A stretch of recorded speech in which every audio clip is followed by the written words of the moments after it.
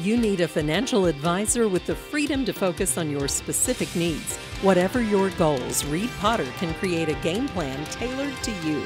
Call Reed at 432 0777 at Pikeville, Kentucky to learn more.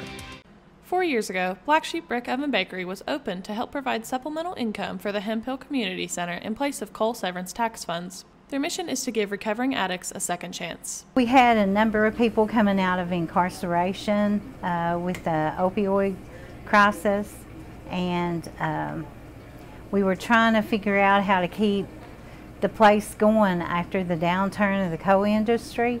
And so we decided there wasn't anything any cheaper than flour and salt and water.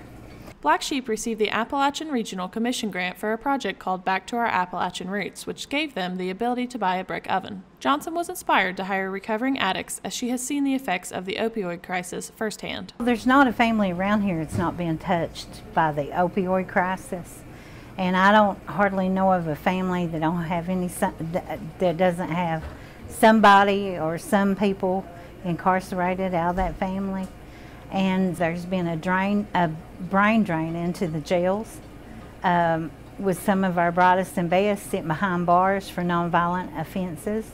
Black Sheep hopes hiring nonviolent offenders will give them the opportunity to learn life skills that could be marketed in the future. It's helped me become dependable, responsible, and I've met a lot of good people that was not in my circle before because everybody sees on drugs, you know what I'm saying? And I think that around here, if they don't see something different, they're not going to try to get something different. So I think having places like this that gives you second chances is very important.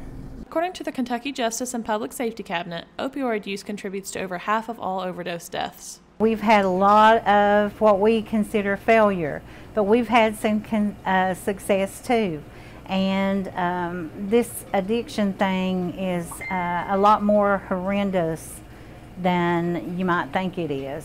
Johnson manages Black Sheep as a volunteer and says it is her heart work to give back to her community and give her employees a second chance at life. We maintain a safe space and try to make a place for everybody where you won't be judged and you'll be respected no matter what your sexual orientation or um, your background or uh, your history or whatever. Uh, we're just trying to make a place where we can all fit in.